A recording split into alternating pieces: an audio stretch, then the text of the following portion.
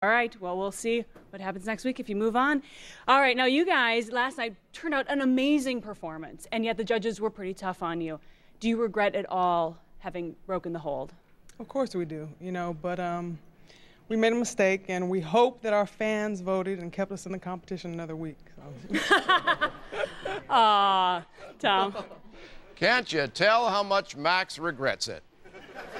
One, one of them might be going home tonight with the judges' scores so close, your opinion really counts.